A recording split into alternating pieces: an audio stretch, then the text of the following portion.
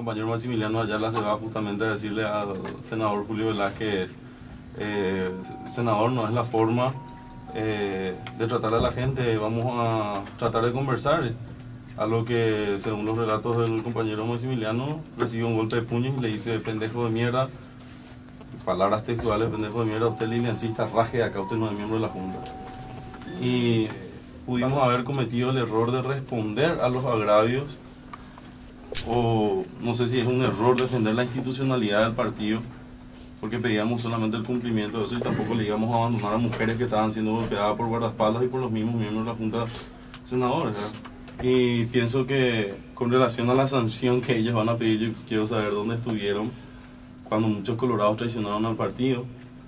Nos pueden cuestionar de mil formas y de mil colores a nosotros, sobre todo a mí que me quieren siempre cuestionar, ¿verdad?